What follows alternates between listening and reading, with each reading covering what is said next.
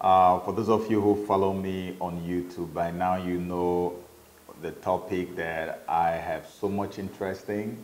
You know, after I made that video, that eight minute video on masturbation, uh, there has been like an outpouring of support and response from all over the world, uh, which has further like highlighted the need for us to really talk about these sexual issues that we have every day because well, as soon as someone is born and they start growing up, the moment you cross your age of innocence, the next major challenge you're going to face in life is sexual in nature. And uh, very few people actually understand uh, what these things are all about, or actually what sexual intercourse is all about. And that's why that video has continued to trend all over the world and have the kind of impact it's having on people. And so today, today, to back up everything I have ever told you about sexual intercourse and you know, sexual immorality, especially in the body of Christ, I want us to go to the origins where it all began. And I, I know I used to tell people, I said, you don't need to run to New Testament to understand sexual intercourse, you need to go to the book of Genesis, the beginning, to understand the origin of sexual intercourse or sexual attraction. And that's basically what this is all about today. I want to show you, or rather teach you, the origin of sexual attraction as it is written in the book of life, the book of Genesis. If you have King James Version of the Bible, you can open it up and go through this Bible study with me right now. Uh, the book of Genesis, chapter 1, verse 26. And God said, Let us make man in our image, after our likeness, and let them have dominion over the fish of the sea, and over the fowl of the air, and over the cattle, and over all the earth, and over every creeping thing that creepeth upon the earth. Verse 27 so God created man in his own image. In the image of God created he him. Male and female created he them. and so God created man in his own image. Listen. In the image of God created he him, singular. Male and female created he them, plural.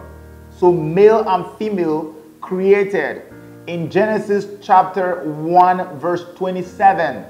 And the Bible says in 28, he said, And God blessed them, and God said unto them, Be fruitful and multiply, and replenish the earth and subdue it and have dominion over the fish of the sea, and over the fowl of the air, and over every living thing that moveth upon the earth. God created male and female and gave authority to them to dominate, to take dominion. He said they should be fruitful, male and female. Okay, but then, if you still have your Bible spread out in front of you, I want you to follow me all the way to Genesis chapter 2, verse 7. And the Lord God formed man of the dust of the ground and breathed into his nostrils the breath of life, and man became a living soul. Wait a minute. Didn't we just hear that in Genesis chapter 1, verse 27, that God created male and female? And here in chapter 2, verse 7, the Bible says that God formed man, only one, and breathed the breath of life into him. What happened to the female that was created with the male in Genesis chapter 1, verse 27? Where did the female go? Because this is progressive. You have to count one before you count two. This is happening in chapter 2, verse 7. The Bible is telling the story as it happened. In other words, there is no argument that God already created male and female before he formed the man, which is the male. So, what is going on here? How can you create male, female, and then suddenly you form a male? In the book of Genesis, chapter 1, verse 27, what God did was He created the spirits of both the male and the female. The word create in Hebrew means bara. And bara means to, to create something out of nothing. The spirit of man was created out of nothing. There was no substance that you can say God went here and brought this and created the spirit of man. He created the spirit of man supernaturally out of his own magnificence out of his own supernatural power. Nothing that you can trace. And so that's what happened in Genesis chapter 1, verse 27. The spirits of both male and female were created at the same time. And when God was giving that order to them, command to them, He said, Go be fruitful, multiply, take dominion over this, over that, over that. He was giving the, domi- the, the command to both the male and the female, not only to the man. He gave the command to the male spirit and the female spirit because both of them were created at the same time. and so, what happened then in the book of Genesis, chapter 2, verse 7, was that God now decided to play a beautiful game, which is why you need to pay very close attention. Follow me so we don't miss anything here. God now came and decided now in the realms of the physical. He said the first that will show up is the male. And so he took something and formed the male, which you and I know it was the soil. He took earth, the soil, and he put it together and he formed the male. So, what is the word formed in Hebrew? It is called yatsar. And yatsar means to beat something into shape. So in Genesis chapter 2, verse 7, what the Bible is saying here is that God took the log, that log of clay. You know, when you see people who are sculptors or people who are uh, uh, craftsmen who work with clay, okay, or potters or something, when they get a log, they will now begin to beat it into shape. What God did in chapter 2, verse 7 was that He took a log of clay that had been mixed and begin to push shape into it. He made a hole here for the eye. He put the hand and, and cut it very nicely and crafted it nicely and did all the shape that we have today. He put it together. That's what the Bible says he did in chapter 2, verse 7. He formed the man, he yatsard the man, put him into shape. But then he was still clay. And the man needed to be flesh and blood. But he was still clay. So God released an essence from him into that body, and the body became flesh and blood. Flesh and blood, but there was no life in it, so the man was still not living. So after man became flesh and blood, man was still dead. There was no life in him because the only life in a man is the spirit of the man which makes the soul to come alive. So, first of all, God's essence went into man, transformed the clay into flesh and blood. Man remained dead, no breath. So, what he did next was the Bible says in the same seven, it said, and he breathed the breath of life into him. After he did that, what happened? The Bible says and man became a living soul. Without the breath, the flesh and blood that he had made supernaturally was not going to be alive. So man became a living soul after the breath went into him. But guess what? If you check your concordance Bible or your study Bible or reference or whatever Bible you use for your study, Go and look at the very definition of the life that is referenced here in this passage, where the Bible says, And the Lord gave and breathed into his nostrils and the breath of life, and man became a living soul. That life there is actually plural and not singular. Okay, I know by now you're wondering if this is the breath of lives, what is Joseph trying to talk about here?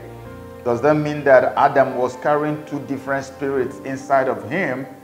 Well, the truth of the matter is yes. Adam was carrying two different spirits inside of him. Adam, by right, spiritually speaking, was spiritually bisexual. He had the spirit of two sexes in him the sex of a male and the sex of a female. And these two spirits, which is the spirit of life, came from inside God into him. And the question that anybody who thinks critically will ask is how come the breath from God's nostrils is going into Adam and there are two spirits. Okay, if you want to prove to us that these two spirits are now the spirit of Adam and Eve, which God created in Genesis chapter 1, verse 27, how did he manage to take them out of himself into the man?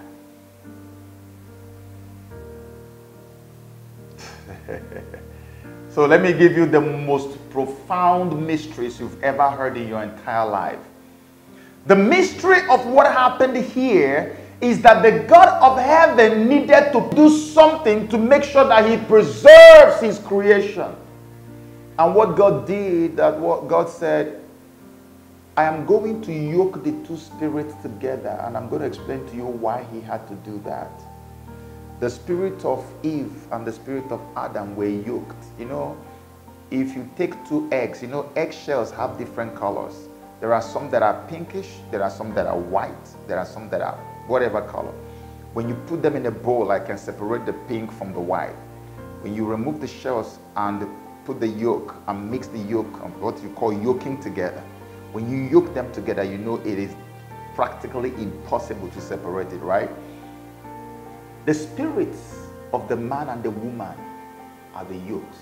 So God yoked the two spirits together and made them into one spirit and so they still carried the same, the, all the, the different DNAs, but they were one.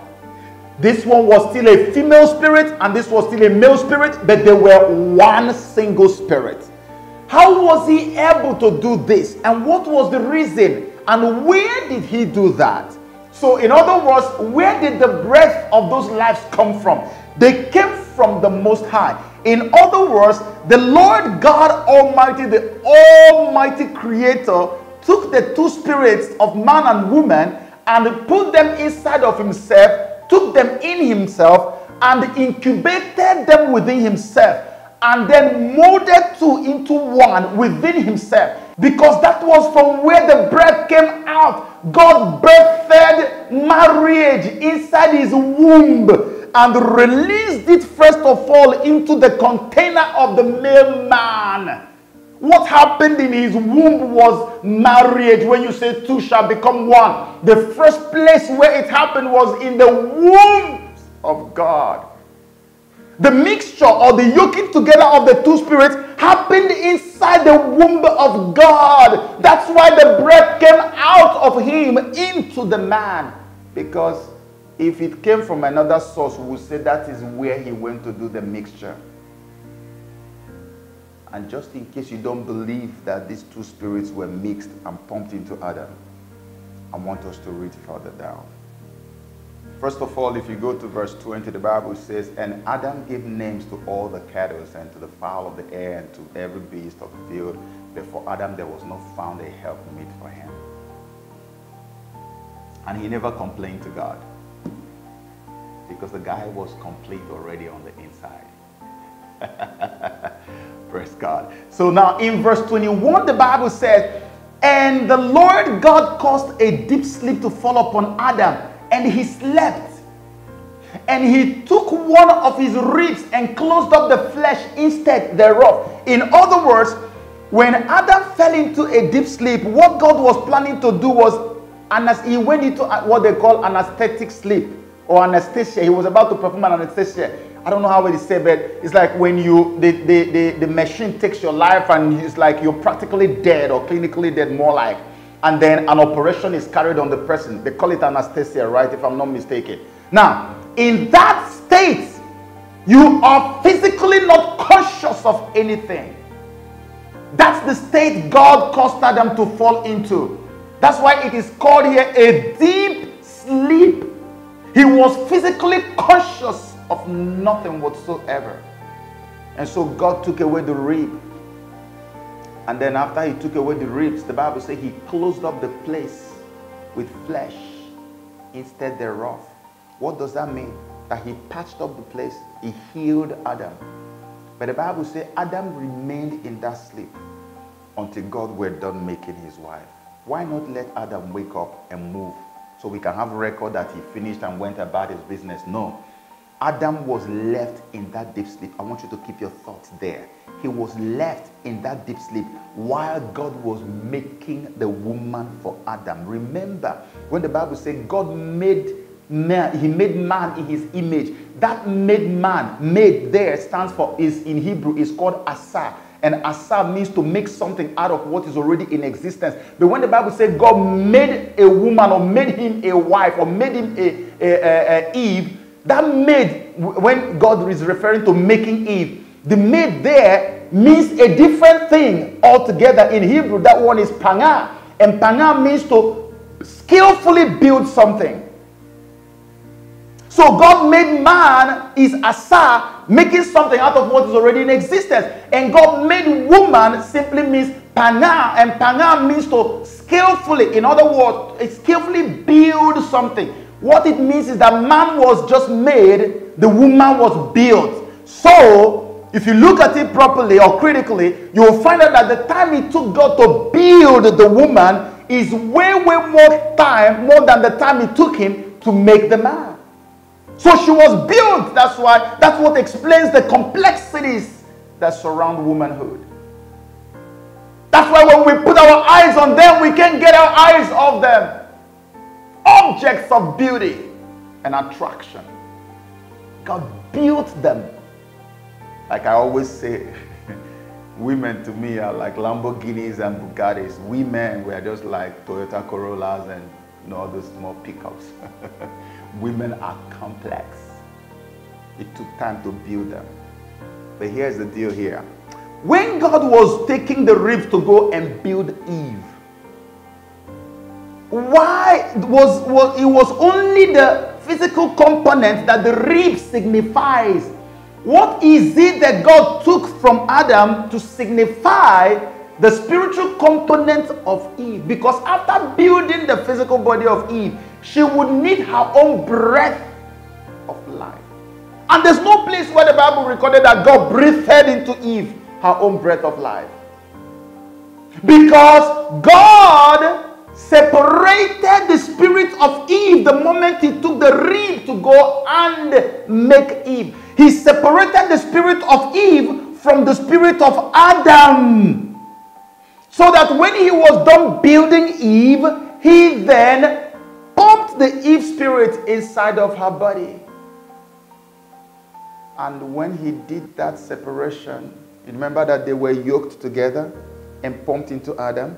And when he was going to now build the woman, he now separated the yoke, and he's the only one who could have done the separation. When he separated the yoke, what do you think happened? A massive vacuum was left in the spirit column of Adam. Why did God play this game?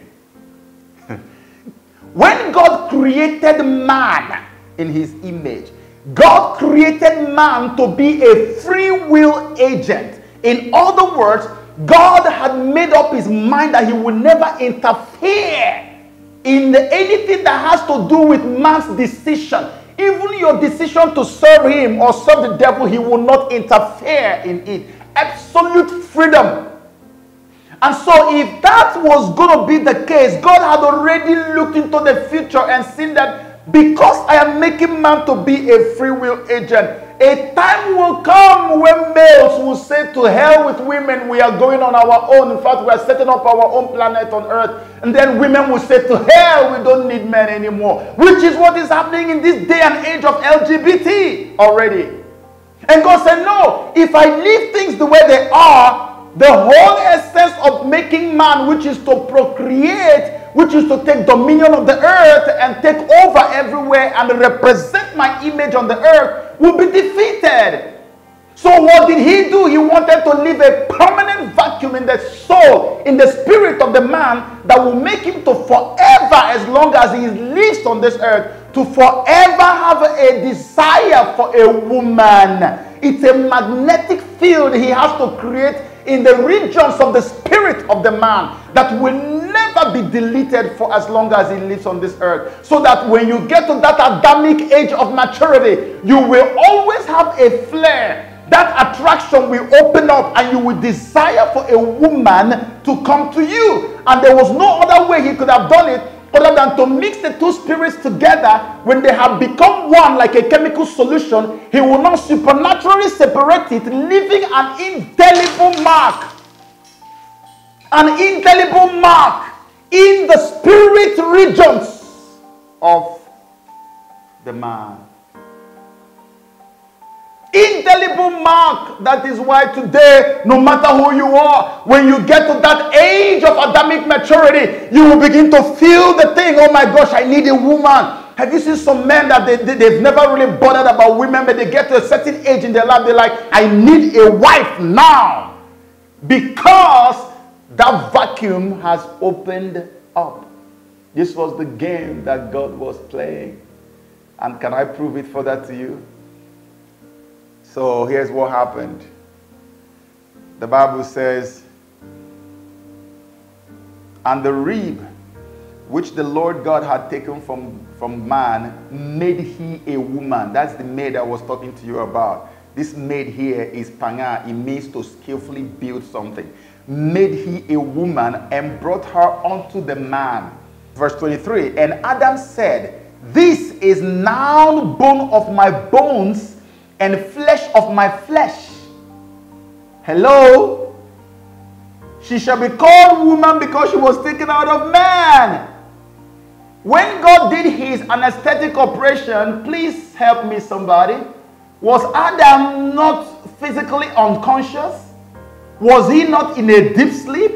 How could he have such very detail, such very vivid details of what God did while he was almost practically dead?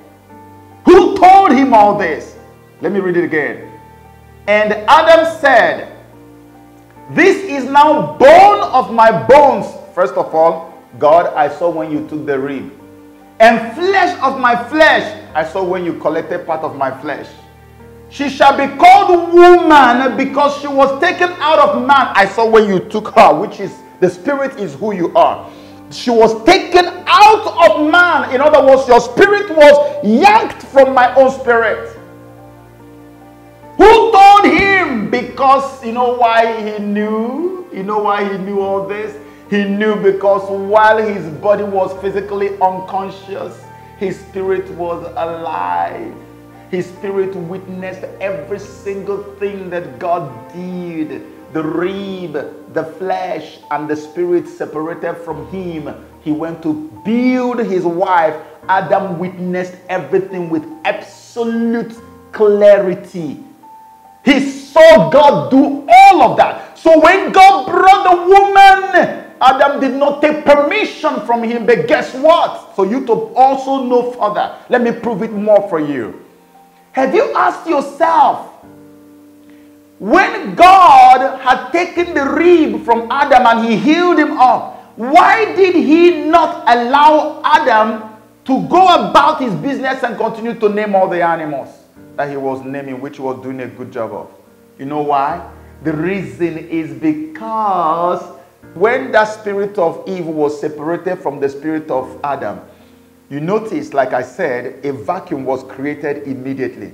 And you know what that vacuum is? God created this vacuum in such a way that it has a strong magnetic field. And God thought to himself, if I allow Adam to wake up and become conscious, what will happen is that Adam will begin to approach the animals that he's supposed to give names to and begin to seek to have sex with them immediately because the vacuum has opened up and by right and by nature, Adam is instantly supposed to be vulnerable sexually and he's supposed to begin to look for somebody to fill that vacuum sexually. So God said, No, I'm not going to let this happen because it's going to end up becoming a, a, a, engaging in bestiality, sleeping with animals, or even going to sleep with a tree or something. He could not control it. So God said, Let me lock him up in the body.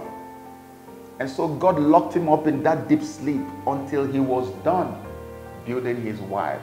So that the moment his wife shows up, he can unleash that sexual intense energy on his own wife rather than on animal. That's why God left him in the deep sleep until he was done building Eve because the vacuum has been left. Before the vacuum was left open, Adam was so complete and cool. He didn't even care if he had somebody or if he didn't have somebody. Even before God mixed the two spirits, he was okay with himself. But you see what God has done now? Chemically speaking, God has left a vacuum that will forever make Adam always be drawn sexually to Eve, which is what we are suffering today. That's why when God brought Eve to Adam, Adam did not take permission from God. He didn't even care that he had never seen anything like woman before. All the animals he named, none looked like his wife. All the trees he saw in the garden, none looked like his wife. Rather than be shocked initially and say, Who is this? I've never seen anything like this. God, what do I do with this? He went ahead and claimed his wife, the Bible said. And then Adam said in verse 23, This is now bone of my bones and flesh of my flesh. She shall even give the wife name immediately. God had nothing to say. God said, Well, you said it all. Goodbye. He took off and went his way. Because Adam witnessed everything. So, this is the origin of sexual attraction for every you, if you ever wondered where did this strong sexual attraction come from, this right here is the origin, the very first origin of sexual attraction in our world. That's how God left this thing that is causing trouble everywhere in the hearts of men. That no matter how much you hate women, you will still see that thing there that draws you sexually to a woman. And if God didn't do it, our world would have been in a major, major crisis by right now. That's the origin. This is why sex is not meant for babies. You have not asked yourself, if God, if God had created man and woman to grow up as babies, what do you think they would have done with this? Do you think God is stupid? Haven't you wondered that the Lord God Almighty, in his own infinite wisdom, went and created male and female as full grown, fully grown adults? Fully grown adults. Why did he do that? Why not just create them as babies and let them grow into maturity?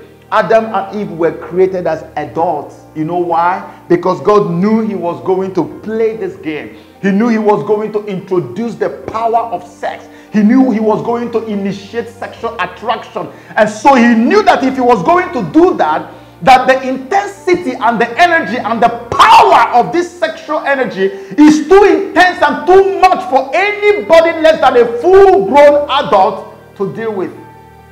That's how you know that sex is not meant for babies, it's not for teenagers, it is meant for fully grown adults. The question is very clear to you here, except if you have a Bible that says that Adam and Eve were created as babies. No, they were made as fully grown, fully mature adults because of what God was about to introduce sexual attraction.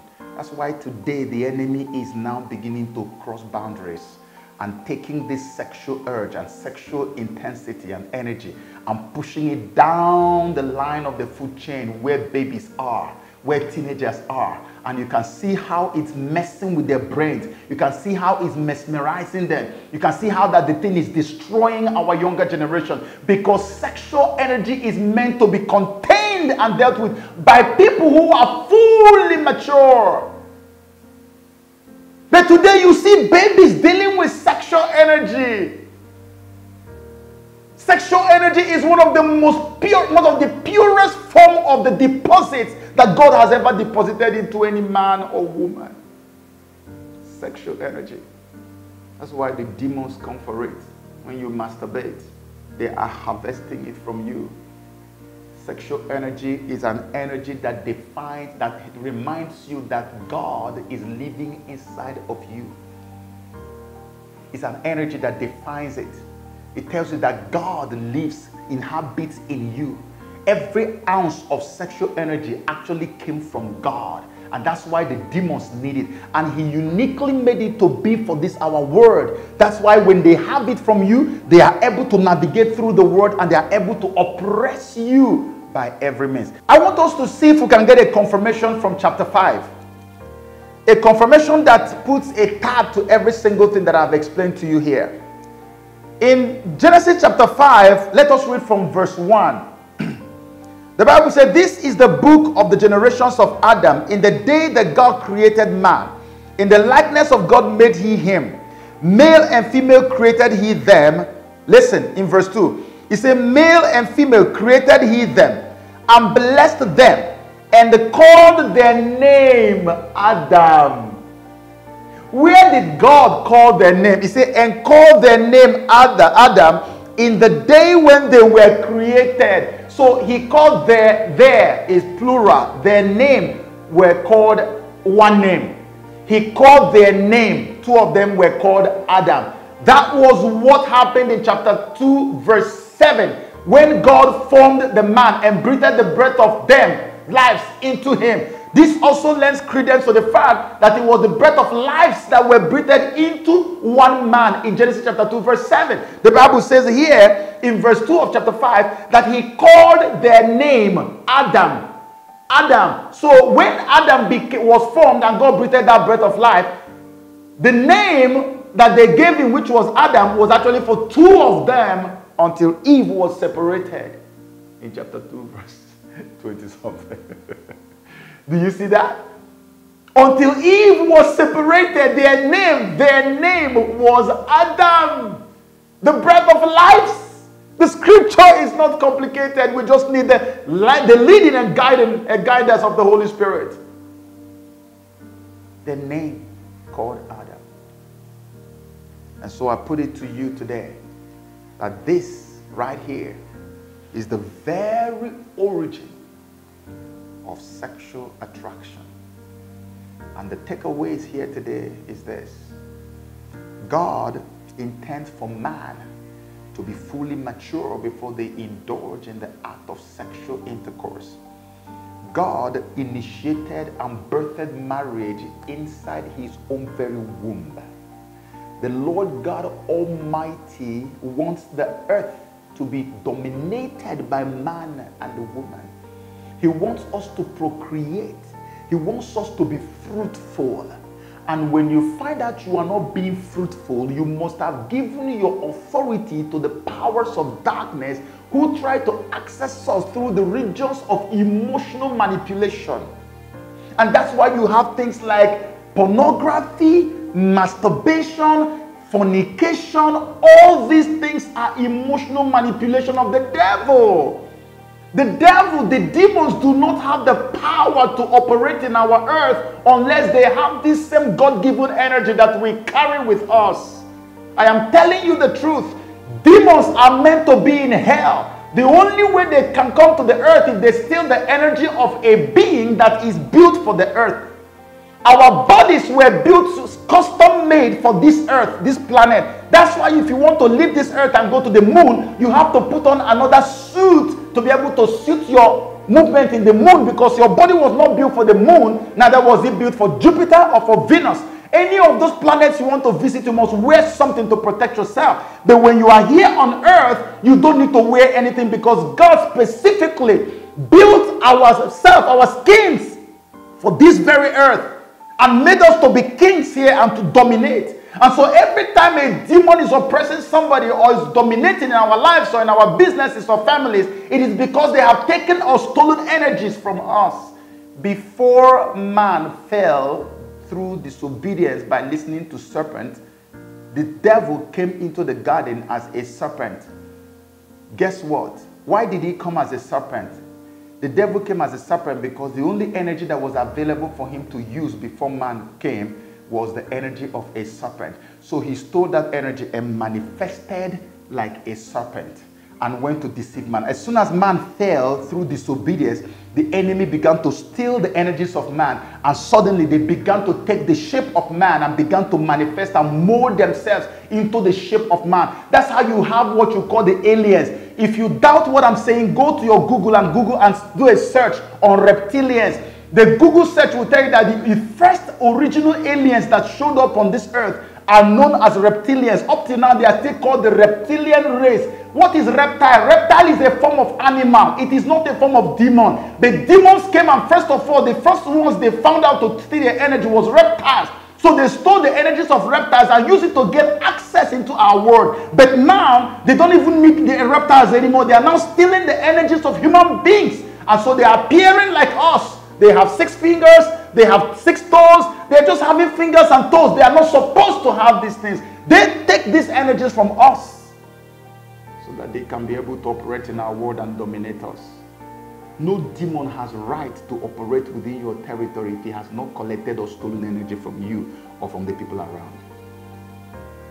This is the energy that God gave us at creation. It is so precious. It's so precious. It's a treasure. It's like a gold mine. Every time you go and indulge in sexual immorality, you indulge in masturbation, you are giving it away free of charge to these demons. It came from east. That's why the Bible says, Ye are gods. Everything about you is from God. You were birthed inside of God. Marriage was birthed in the womb of God. The enemy wants to destroy it. With what I've explained to you today, you can now say that there is no place in the Bible for polygamy. It is one soul, one spirit to one spirit. You can see it. It's written in the Bible, black and white. If you don't understand it, call me, I'll explain it again. It's there in the Bible. God took two and joined them together. So whenever you indulge in sexual intercourse, what you are doing is that those two spirits are coming together again. Because after God separated the spirit of Eve and the spirit of Adam, two of them now the vacuum has been created. So there's always a need for them to come together. So whenever you get into sex, you remember that time you come into sexual intercourse, what happens is the two spirits now come together and they become one like they were in chapter 2 verse 7. So every time you have sex with somebody, that oneness is done. You are renewing the covenant of two becoming one, which is oneness. That is what happened. That's why sex is called, is called koinonia. Koinonia means an intermingling of two spirits. Sex is not really when the male organ and the, and the female organ come together. No, those are the preparations that help sex to take place. The real sex takes place when the two spirits come together because God separated them when He went to build a woman. So every time you have sex, they come together, they have opportunity to come together again to form the same oneness they had when God breathed the breath of life into Adam. This is what sex is. That's why it is called the origin of sexual attraction. I know and I pray that you have learned something today. I pray that with this knowledge that you have gotten today, you will hold on to God and trust Him for patience to wait for your time. My earnest prayer today is that you stop wasting your God given energy, that you will hold it. And if you're a married man, you are of all men the most privileged. Hold this thing tight because every time you have sex with your wife and renew that covenant, you are en engaging in a higher form of worship. I keep saying to people, love making between two legally married partners is one of the highest and purest form of worship. You indulge in a powerful high form of worship when you do that because you are renewing a covenant that was birthed in the womb of God. Hey, it, sex between you and your partner is so beautiful. You renew it every time two of you will come out. Anything you set your mind on to do, you will succeed in it as long as you're not cheating on one another. It is powerful. It's a renewal of covenant that was birthed in the womb of God. I hope, I hope honestly that you have taken this message and that you will continue to act on it. May the Lord God bless you and guide you and give you the grace to live in fulfillment of his words which you have heard today. Amen.